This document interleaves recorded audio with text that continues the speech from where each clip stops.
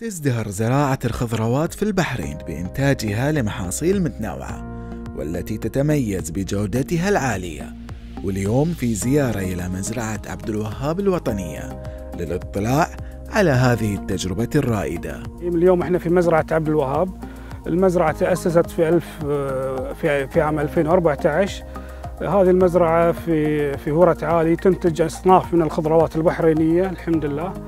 آه، أيضا من مميزات المزرعة أنها يمكن تكون أوائل المزارع اللي سمحت للزبائن بالقطف باليد.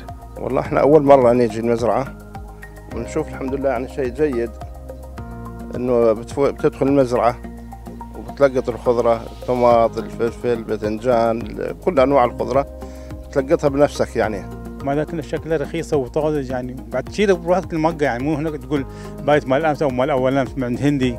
بالعكس موجود. كيف؟ كل ال size اللي تبغى تحصل. وتعتبر زراعة الخضروات رافدا مهما لتأمين الأمن الغذائي بإنتاجهم لكميات وفيرة. طبعا هاي المحمية كلها الفليفلة الحمراء أو الفلفل الرومي ناس يسمونه. آه نتميز بزراعة الفليفلة والطماط الكبير. عندنا الطماط الكبير البحريني إنتاج غزير. والفليفله إنتاج غزير الحمد لله أنواع الفلفل الحار. حاليا إحنا في حقل الباباي ما شاء الله هذه الباباي أشجار الباباي.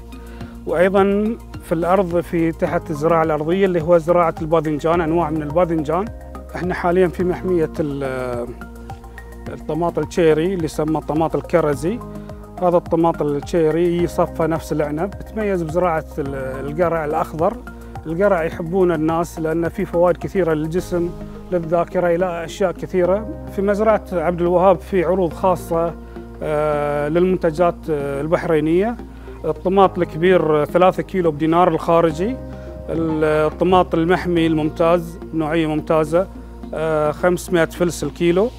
الطماط الشيري كيلو ونص بدينار. الفليفله الملونة كيلو ونص بدينار. هناك أسعار خاصة للمنتجات اللي تباع بالجملة.